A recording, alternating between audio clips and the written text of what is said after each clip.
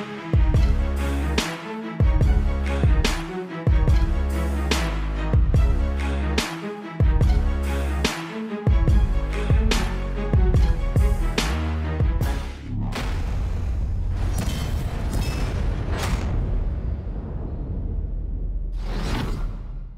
Fala aí rapaziada, como é que vocês estão? Eu espero de coração que todos vocês estejam bem e meus amigos, estamos começando mais um vídeo no canal. E vamos começar nos temas do vídeo de hoje falando justamente sobre o próprio Rafael Brandão. O Brandão que hoje lá no canal da Probiótica revelou todas as competições que ele pretende fazer em 2024 e uma teoria que o público já especulava bastante provavelmente vai acontecer. Isso porque o Brandão confirmou que quer competir no Arnold Classic Ohio 2024 e só está esperando o convite oficial. Ou seja, realmente tem tudo para vermos o primeiro confronto de Horse versus Rafael Brandão na carreira de ambos. Mas calma que já já a gente comenta um pouco mais sobre esse duelo. O Brandão comentou aí que pretende competir no Arnold Classic Ohio, no Arnold Classic Reino Unido e deu 100% de certeza que vai competir no Arnold Classic Brasil. Ele também pretende fazer outros dois shows internacionais, o New York Pro e o Tampa Pro.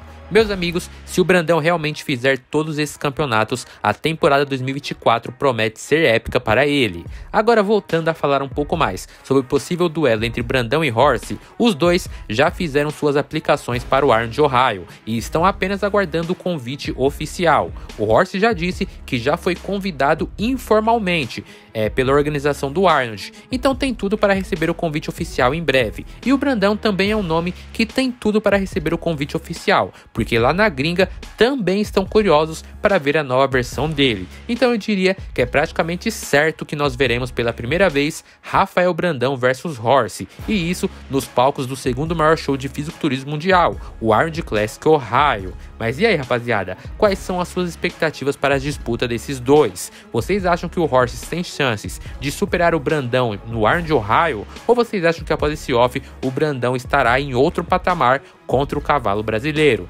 Deixem aí suas opiniões. Lembrando que se esse duelo não acontecer em Ohio, se caso algum deles tiver algum imprevisto, vai acontecer no Arnold Classic Brasil. Então não tem jeito. Em 2024 nós veremos pela primeira vez Marcelo Horse versus Rafael Brandão, de uma forma ou de outra.